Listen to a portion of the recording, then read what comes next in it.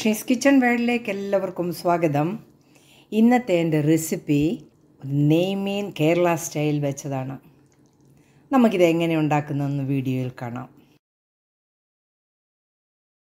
നല്ലൊരു മീൻകറി വെക്കുന്ന എങ്ങനെയെന്ന് നോക്കാം. അതിനായിട്ട് ഞാൻ ഒരു കിലോ നെയ്മീൻ കഴുകി വൃത്തിയാക്കി എടുത്തിട്ടുണ്ട്.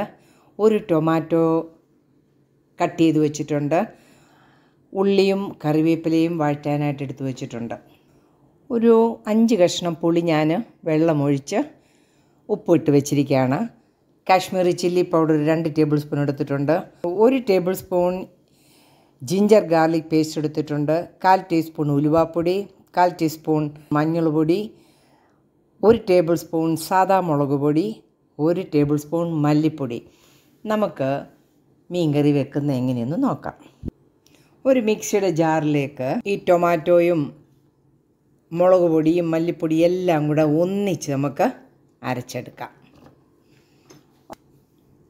കാശ്മീരി ചില്ലി പൗഡർ മല്ലിപ്പൊടി സാദാ മുളക് പൊടി കാൽ ടീസ്പൂൺ മഞ്ഞൾ പൊടി. ഇത് നമുക്ക് നല്ലതുപോലെ ആദ്യം അടിച്ചെടുക്കാം.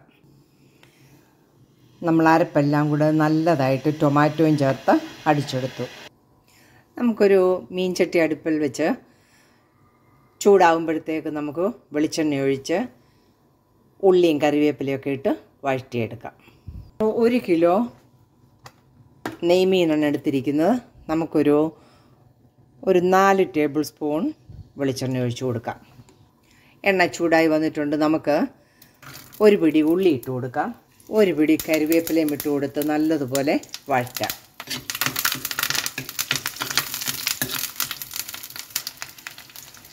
ഇതിന്റെ കൂടെ നമുക്ക് ഒരു ടേബിൾ സ്പൂൺ വെളുത്തുള്ളി ഇഞ്ചിയുടെയും പേസ്റ്റ് ഇട്ട് കൊടുക്കാം.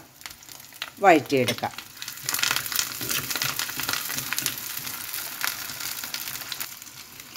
ഉള്ളിയും കറിവേപ്പിലയും വെളുത്തുള്ളിയും ഇഞ്ചിയുടെയും പേസ്റ്റും എല്ലാം നല്ലതുപോലെ വഴന്നു വന്നിട്ടുണ്ട്. മീൻ കറിയുടെ കൂട്ട് ഒഴിച്ചു കൊടുക്കാം. നമുക്കിതൊന്നും വഴറ്റിയെടുക്കാം. അരപ്പ് നല്ലപോലെ വഴന്നിട്ട് വേണം ചൂടുവെള്ളം ഒഴിക്കാനായിട്ട്. ചെറുതീയിൽ നമുക്ക് വഴറ്റിയെടുക്കാം.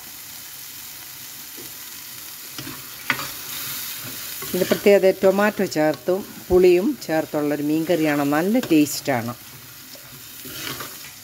ഇതിൽ നമുക്ക് ഒരു ടീസ്പൂൺ കുരുമുളക് പൊടിയും കാൽ ടീസ്പൂൺ ഉലുവാപ്പൊടിയും കൂടെ ചേർക്കാം. ചെറുതിയിൽ നമുക്ക് എണ്ണ തെളിയുന്നിടം വരെ ഒന്ന് വഴറ്റിയെടുക്കാം. ഇതൊക്കെ അരപ്പെല്ലാം വഴന്ന് എണ്ണ തെളിഞ്ഞിട്ടുണ്ട്. ഇത് നമുക്ക് ഈ പുളിയുടെ വെള്ളം ഒഴിച്ചു കൊടുക്കാം. പുളിയുടെ അളവൊക്കെ അവനവന്റെ ഇഷ്ടം അനുസരിച്ച് വേണം ചേർക്കാനായിട്ട്. ഇപ്പം ആവശ്യത്തിന് പുളിയും എല്ലാം ഉണ്ട്. ഞാൻ ആ മിക്സി കഴിയ വെള്ളം ഇതിലേക്ക് ഒഴിക്കുന്നു. ആവശ്യത്തിന് വെള്ളം ഒഴിക്കുന്നു.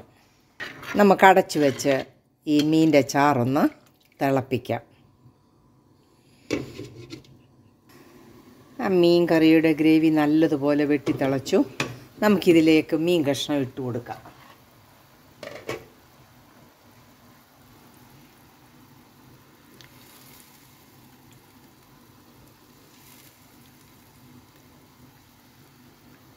നല്ല ഫ്രഷ് മീനാണ്. മീൻ കഷ്ണം എല്ലാം ഇട്ട് കൊടുത്തു. മീൻ കറി വേകാനായിട്ട് നമുക്ക് വീണ്ടും അടച്ചു വെക്കാം.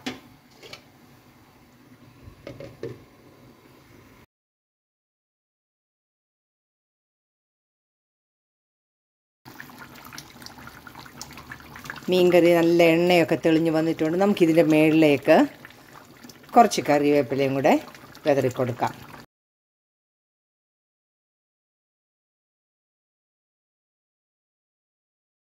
എന്റെ റെസിപ്പി ഇഷ്ടപ്പെട്ടാൽ ചാനൽ സബ്സ്ക്രൈബ് ചെയ്യുകയും ലൈക്ക് ചെയ്യുകയും കമന്റ് ചെയ്യുകയും വേണം. താങ്ക്